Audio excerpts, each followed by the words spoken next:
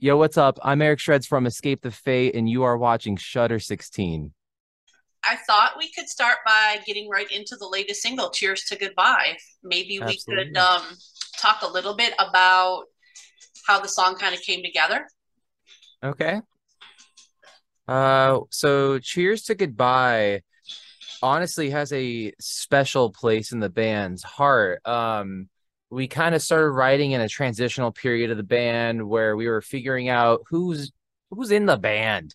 Um, and we just knew we needed to get together and start writing. Uh, it was personally my first time writing with the band, everybody else in the band. Um, we got together. We had some chords for a hook laid down and it just became magic from there. The the four of us were in the room. It was me, TJ, Robert, and Craig. And we just, as a unit, the four of us sat here in, in this studio and we just wrote a song together, four dudes in a garage, and made it happen. Awesome, awesome. And the video just came out too. So it's, it's Mhm. kind of a, I love the videos you guys have been putting out because they're just, they're like theatrical, but yet they're still focused on the band. You know, there's not too much of a, a crazy story going on with them. But tell us a little bit about the making of this particular video and how involved the band is in that process. Yeah, so this video was really cool. We shot it in Phoenix, Arizona, um, at Tony Aguilar's studio with Jacob Reynolds. And we shot in front of this massive video wall. I mean, like the thing, I, I'm six foot three and I had to look straight up to see the top of it. You know, it's huge, it's huge, it's awesome. It was really, really cool. Um, and I mean, that really is the gist of the majority of the video. Um, we shot Spencer shot his parts somewhere else. He sent it to us, and then we did performances where we put him on the video wall and Craig like sang to him that way to be able to do it because they have a rigorous touring schedule. So it was just how we had to get it done. And I think it's a pretty cool concept how it turned out. You know, the video wall looked great. It I mean, it looked like real fire to me for parts of it, you know. we didn't have real fire there. well, you could save that for the shows, right? Yes, exactly. so you've been releasing a few singles this year, uh, but we've got a new album that's going to be coming out. So tell us a little bit about Out of the Shadows. Out of the Shadows. Um, so I, I'd like to say that the band is getting on its way back to its roots. Uh, there's a lot more rock and metal on this record than there has been in a while. Um, the we're all just really passionate about it. We're all really excited. We have lots of banging riffs, great hooks, lots of guitar solos. Uh, it's a very exciting record, and it is ETF kind of like branching back to what got the band started, you know? Do you have a favorite yet on the new album? I do, I do, and I can't I can't give any names yet for the other songs that aren't released, but it is one of the ones that isn't out yet. That is my my personal favorite.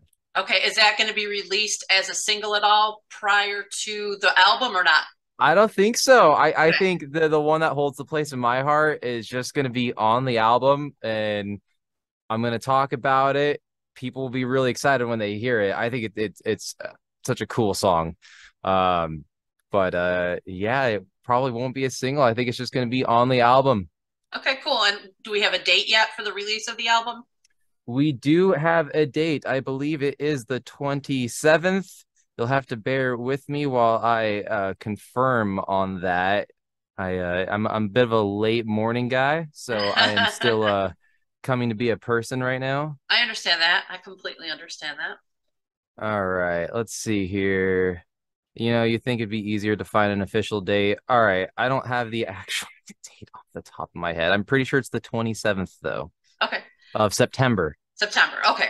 Cool. And what about the, you know, the writing process? You mentioned that the latest single that was kind of just four guys in a garage. So did the whole album kind of work like that? Or did you guys have like material that you brought to the table for everybody to kind of check out? Yeah, it, it's a bit of a mess on that. Um, we did a lot of the writing at John Feldmann's studio in Calabasas. Um, and we started some of the writing with an old guitar player. Um, and we did most of the writing without him, but we started it kind of just the band with the old lineup together. and we just wrote songs in a room with people at the studio. I, you know, there are a few songs that were like written elsewhere and people brought in. Like Low was one that I ended up bringing to the table. That was just kind of something that I had written on tour. I like said, Craig, check out this this chorus I'm working on. And he said, Yo, what if it ends with this line? Let's talk about the worms. Let's feel low. And we kind of just like brought that one together to release. Um, and then like Hate Myself was just kind of like a bunch of people in a room and you know, the idea for the I hate you more than I hate myself came out and a song got written. Cool. And how's um Maddie working out? Is he fitting good in with the rest of the guys? Maddie definitely fits in with us. Uh, one of the greatest shredders I've ever met, ever met. I'm a guitar player, and I am just like, we are not worthy. Uh, one of the greats of our generation for sure. Awesome. And then you've been in personally with the band since 2021, right? Uh, I've been with the band since uh, 2017, actually. 2017. Okay. Mm-hmm. So, um, tell us a little bit about your time in the band so far. It's been well, that would be about six years now. Mm-hmm. Um, so, what's it like being part of uh, Escape the Fate, and where do you see you know yourself and the band moving forward? All right. So, I, I have you ever seen Mark Wahlberg, Rockstar? Yes. so honestly, that's kind of how I feel about my life. I was a, a fan of the band uh, when I was in high school, and I mean, like I had I had this old Chevy and I had one CD in the car, and that was all I had was a burnt CD of This War Is Ours. Um, so I kind of came in as a fan and got the opportunity to play as a session player for them. Um, I was in a band with Craig called the Dead Rabbits. And when they needed a bassist, you know, he knew me, hit me up, brought me into it. Um, and then I played as a session bassist for, I want to say, four years.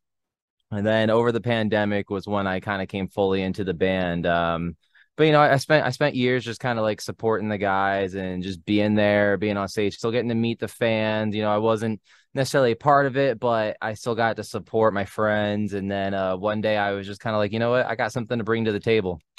Like, let me in. I'm knocking. I'm ready to go. That's awesome.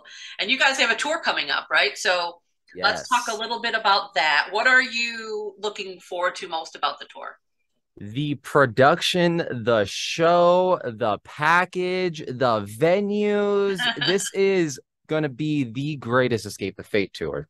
Awesome. I know that's big. That's a statement, but it, it's going to be amazing. We are uh, really trying to put on a next level performance for everybody this time. We don't want to just be a show that you went, oh, they played my favorite songs. Like, that was cool. They sounded really nice. That was nice. Like we want people who have never seen us before to show up and leave and not be able to stop talking about it. Um, so we are putting a lot into this one. The package is absolutely amazing. We have D.R.U.G.S. that we just did a tour in Australia with. Um, Craig Owens is one of the like nicest people I've ever met, and they're great to perform with, great vibes. Point North. They're on the up and coming. They've been showing up on my Spotify every week. I've been jamming to them. I'm loving it. Nice. And we have some old friends stitched up heart. And then we have Garzi on the, the tour with us. And it's just a great package. It's gonna be great vibes. We're putting on a huge show and it's gonna be honestly, it's gonna be top notch. Cool. Are you excited to play the new songs live? Woo! Yeah. Oh yeah. We already started playing Low and Hate Myself live. And Low even though it's maybe not the most popular song online, when we play it live, though, that song resonates differently on stage than it does in the studio. It's a very strange phenomenon, but I'm looking forward to seeing what other magic comes from playing the other new songs live. That's cool. That's like that's, that. That's a fun part of it because a lot of times you're right. The songs hit different when you get out there in the live setting and you've got the fans going and the interaction there. So it brings mm-hmm. just a new a new level to the song. So we're looking forward to seeing that in the tour. This time you've got some huge festivals though too coming up. Yes. So yes, you're going to be at Blue Ridge Rock Fest, which um Love has Blue insanely Ridge. become just like this wildly huge, crazy festival, and you guys are going to be at Aftershock too. So tell Correct. us a little bit about first of all, what the band has in the works for the festival dates, because I know it'll probably be a little bit different than you know the regular tour. Yeah, the festival dates. Um, I I am still. I actually don't know the logistics of our, you know, kind of package and the sh- full overall show we're doing for the headliners. What that involves for the festivals. Um, you know, a lot of bands don't get to take out as much production on those, so that's up in the air. I don't have that information. Um, I do know that no matter what, though, we're gonna play a set of heavy hitters we're going to get the crowd hyped and we're going to put on a rock and metal festival. What's your favorite festival memory, whether as a, a, a working musician or as a fan attending a festival? Oh, okay. So we played this festival in Jakarta, actually. Um, uh, I'm having a hard time remembering what its name was because it, sounds like Sonic Temple to me for some reason.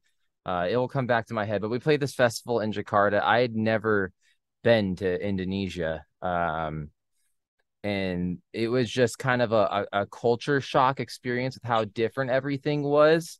Um, you know, you finish playing a song and you start talking to the crowd, and it's just like crickets in the audience because everyone is there to just kind of like show you respect. They want to hear the music. They're so interested to hear what you have to say that it's like you're on this massive stage. There's these screens that are 100 feet tall on your left and right. And then you get finished playing your song, you're rocking the riffs, everybody's pumped, and then the crickets. um, and that was a very unique experience for sure. That was so cool. Crazy, different vibe. Hammer Sonic, Hammersonic. You're you're definitely not going to get that at Blue Ridge or, or Aftershock because they're the, oh no, we're oh, there might be crickets, but you won't be able to hear them. no, no, no. So you've got the new album coming out in September. You got this big tour starting at the end of August, mm-hmm. and the mm-hmm. festival dates. What's next? What's around the corner? Just continuing to push the new record, and are you going to have more tour yeah. dates in the winter and upcoming spring? You think? Absolutely. Um, so we want to take the tour global. Um, we are still working on that. It's another just logistics thing that's in the work still. Uh, but beyond that, we are still always writing music. Uh, so I feel like that's going to be a lot of our focus is pushing this album over the next year and getting ready to keep having more music swinging. Um, we are very inspired. We're very motivated and we're all very, very passionate about what we do. And we're very excited to keep making music and and sharing ourselves with everybody. That's awesome. Well, we can't wait to hear the whole record in full, and especially that song that you're talking about. We'll be on the lookout and listening mm-hmm. to that. Mm-hmm. And um, you know, best of luck with the tour coming up and all those dates. You guys are Thank great. You. you know, we can't wait to get to see you. I appreciate that. Thank you very much.